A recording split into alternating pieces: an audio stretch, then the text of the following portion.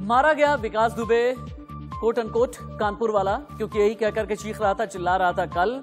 इस वक्त की बड़ी खबर है, विकास दुबे का एनकाउंटर होने के बाद कई तरीके के सवाल उठ रहे हैं। यूपी पुलिस की प्रेस कॉन्फ्रेंस होने वाली है। हालाँकि यूपी पुलिस की तरफ़ से ADG law and order Prashant Kumar ने अभी अभी थोड़ी देर पहले, लगभग दो से तीन मिनट पहले ये बताया है कि किस तरह से विकास दुबे को ढेर किया गया। विकास दुबे का एनकाउंटर कानपुर से पहले जहाँ पर भी किया गया, उसके बारे में प्रशांत कुमार जानकारी देते हुए। लेकिन एक टाइमलाइन हमने तैयार की है और जिसके लिए हमें टच पैनल स्टूडियो जाना होगा। टाइमलाइन ही आपको ये बताएगी कि एनकाउंटर किस तरीके से अंजाम दिया गया, किस वक्त क्या हुआ है और डेवलपमेंट क्या क्या रही है। हम बहुत तेज़ी के साथ में टच पैनल स्टूडियो चलते हैं, क्योंकि टच पैनल स्टूडियो ही आपको ये बताएगा कि सुबह सवा छह बजे से आज, यानी 10 जुलाई को क्या हुआ। एसटीएफ के साथ कानपुर पहुँचा विकास दुबे। कानपुर में ही बिल्कुल एंट्री जब हो रही थी हाईवे पर ही गैंगस्टर को जो गाड़ी लेकर के आ रही थी, यानी एसयूवी गाड़ी लेकर के आ रही थी, पलट गई एक्सीडेंट हो गया। विकास दुबे ने निकल करके भागने की कोशिश की, लेकिन पुलिस का हथियार भी इसने छीन लिया। यानी एक पुलिस वाले की पिस्टल इसने छीनी। छीन करके फिर पुलिस वालों पर लगभग छह बजकर के पैंतालीस मिनट पुलिस और विकास के बीच सीधे तौर पर गन फाइट हुई, यानी क्रॉस फायरिंग हुई। विकास दुबे ने भागने की कोशिश की, दूर से ही जाकर के पुलिस वालों पर गोली चलाता रहा। सुबह छह बजकर के पचास मिनट पर भागते वक्त एनकाउंटर को अंजाम दिया गया और छह बजकर के पचास मिनट का यह वक्त था जब विकास दुबे को ढेर कर दिया गया। यह है पूरी टाइमलाइन लेकिन विकास दुबे के कुंबे के बारे में भी बताना बेहद ज़रूरी है कि किस तरह से गैंगस्टर के गैंग का पूरी तरह यूपी पुलिस ने कर दिया है खात्मा। प्रेम प्रकाश पांडे, आपका एक्सट्रीम वहाँ पर नज़र आ रहा है, जहाँ पर विकास, प्रेम प्रकाश पांडे यानी विकास का मामा, ढेर कर दिया गया। विकास दुबे का मामा यानी जो विकास दुबे के फाइनेंसर्स देखता था, विकास दुबे का मामा है, जो विकास दुबे के जितने भी पॉलिटिकल कनेक्शंस हैं, उन्हें देखा करता था। प्रभात मिश्रा, करीबी साथी, फरीदाबाद से पकड़ा गया था। कहा यह जाता है कि विकास दुबे के जितने भी वेयर अबाउट हुआ करते थे, यानी विकास दुबे कहाँ जा रहा है, कब जा रहा है, किसके साथ रुक रहा है, किसके साथ खा रहा है, पी रहा है यह सारी जानकारी प्रभात मिश्रा को हुआ करती थी, करीबी साथी मारा गया। बउआ दुबे इटावा में मारा गया। विकास का गुर्गा कहा जाता था बउआ दुबे और कहते ये हैं कि प्रभात मिश्रा और बउआ दुबे दोनों ही आपस में कनेक्शन में हमेशा रहा करते थे। अतुल दुबे, विकास का चचेरा भाई, ये भी ढेर किया गया, अतुल दुबे। और अतुल दुबे को ढेर किया गया था हमीरपुर में, अगर आपको याद हो।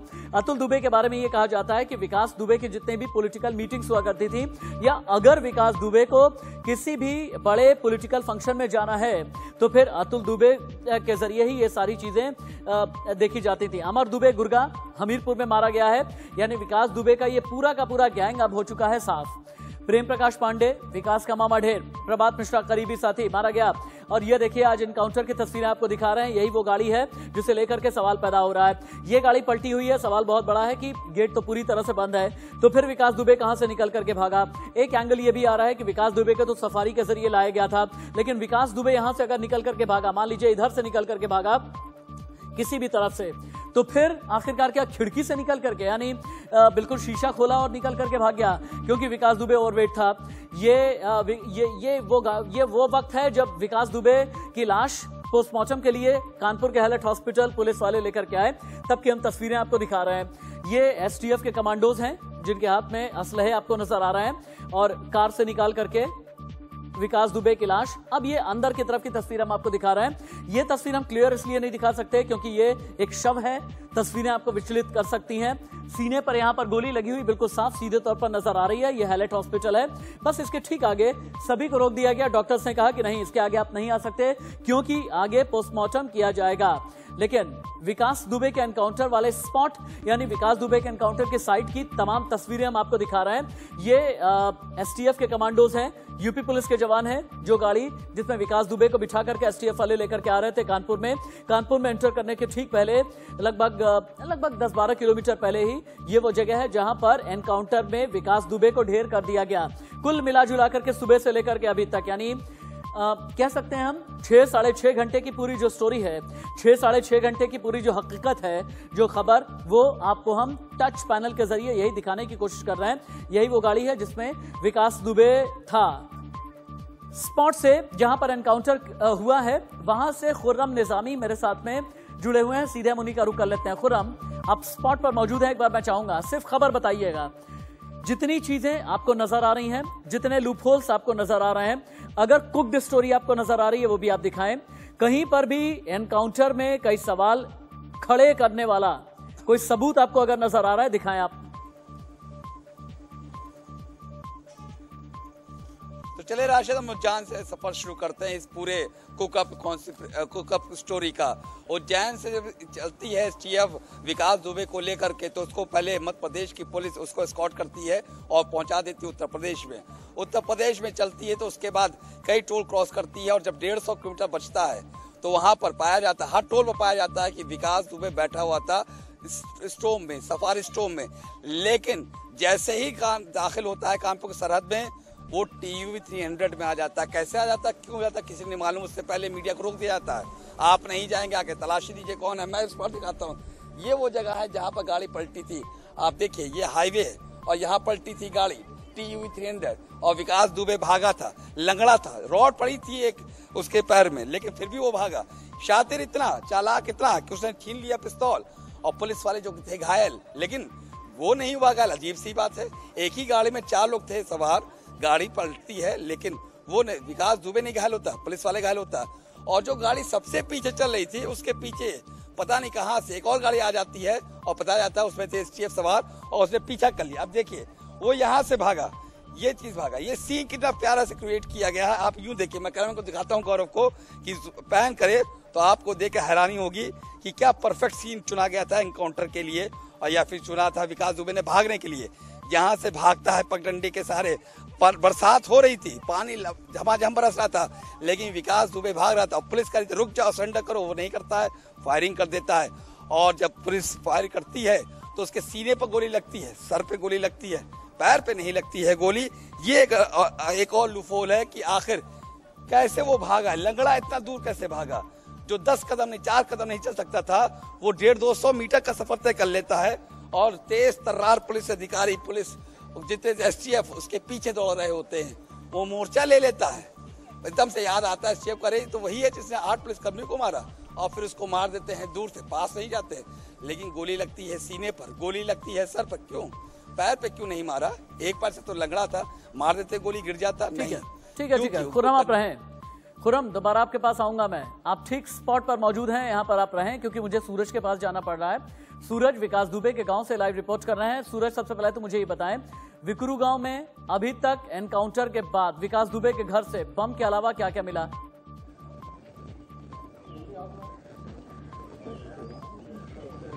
जी देखिए लगातार यहाँ सर्च अभियान चालू है। पुलिस लगातार घर टू घर सर्च कर रही है। वहीं पर आपको बता दें जो खाद्यान्न की टीम आई थी यहाँ से खाद्यान्न उठाने के लिए उस खाद्यान्न के नीचे ज़िंदा सात बम मिले हैं। पुलिस की टीम भी यहाँ पर मौके पे मौजूद थी। साथ में उनके साथ में सीओ भी आए थे यहाँ पर जिसको उनके खा, जो खाद्यान्न था उसको खाली कराने के लिए सीओ साहब से ही पूछ लेते हैं कैसे ये बम मिला किस तरीके से उनको जानकारी हुई।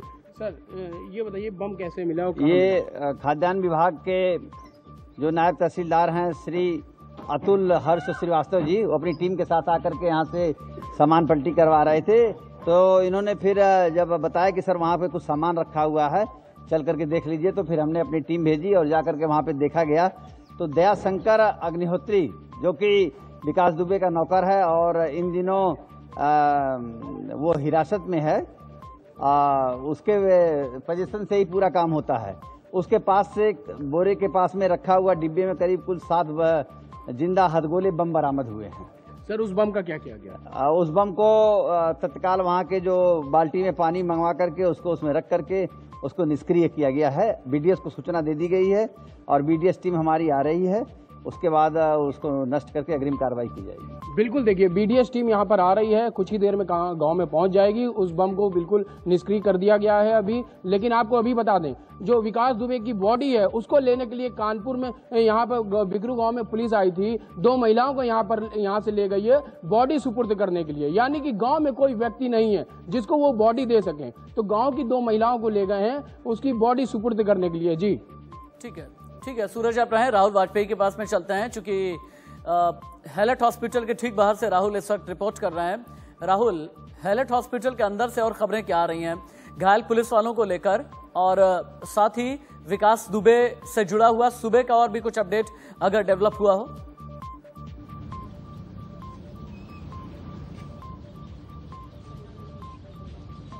जी देखिए, मैं बता दूँ आपको, जो घायल पुलिसकर्मी है, उनका उपचार चल रहा है, लेकिन उनकी स्थिति सामान्य है, कोई भी पुलिसकर्मी गंभीर नहीं है। सबसे बड़ी बात ये, दूसरी चीज़ है, जो विकास दुबे का शव है, उसको पोस्टमार्टम के लिए भेज दिया गया है। अब से कुछ ही देर में कोरोना की रिपोर्ट आ जाएगी। अगर रिपोर्ट पॉजिटिव आती है तो कहीं ना कहीं जो भी कोविड 19 प्रोटोकॉल के तहत तो जो भी, उसका अंतिम संस्कार उसी हिसाब से किया जाएगा। अगर पॉजिटिव रिपोर्ट नहीं आती है तो उसका पोस्टमार्टम किया जाएगा। पोस्टमार्टम में ही पता चल सकेगा कि विकास दुबे को मुठभेड़ के दौरान पुलिस और एसटीएफ और विकास दुबे की मुठभेड़ के दौरान विकास दुबे को कितनी गोलियाँ लगी और कहाँ कहाँ लगी। जी। ठीक है ठीक है। राहुल, आपके पास दोबारा लौट करके हम आते हैं। मुझे ऐसा लगता है सूरज के पास हमें एक बार फिर से जाना चाहिए। सूरज, मुझे ये बताएँ क्योंकि आप विक्रू गाँव में मौजूद हैं, आपने ये बताया कि किस तरह से अभी बम डिस्पोजल स्क्वाड भी आ रहा है, बम मिला है विक्रू गाँव में, घर से विकास दुबे के। लेकिन इसके अलावा, क्या ये माना जाए कि विक्रू गाँव में विकास दुबे की दहशत अब खत्म है?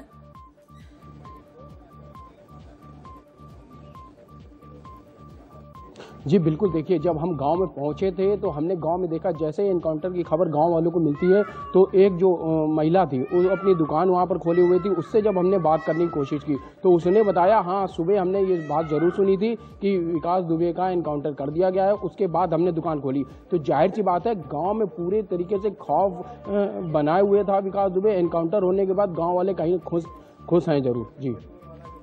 ठीक है ठीक है ठीक है, लौट करके आते हैं।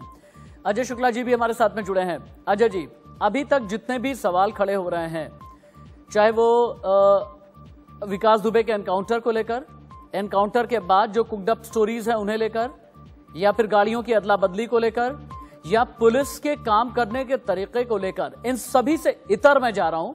अभी इन सभी से इतर मैं जाता हूँ। मुझे ये समझाएँ विकास दुबे के एनकाउंटर के बाद क्या ये माना जाए कि कम से कम इस इलाके में इस इलाके को अपराध मुक्त किया गया है।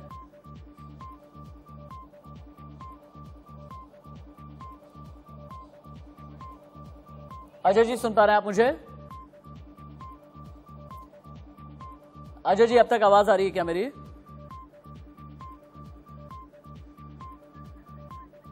चलिए, अजय जी तक आवाज़ नहीं आ पा रही। है एक काम कर लेते हैं। यहाँ पर एक छोटे से ब्रेक के लिए रुक जाते हैं।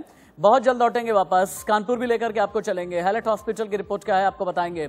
मौका वारदात से खुर्रम निजामी, जहाँ पर एनकाउंटर किया गया है, वहाँ पर खुर्रम निजामी हमें रिपोर्ट कर रहे हैं। और इसके अलावा सूरज विक्रू गाँव में इस वक्त है, यानी विकास दुबे का गाँव। एक ब्रेक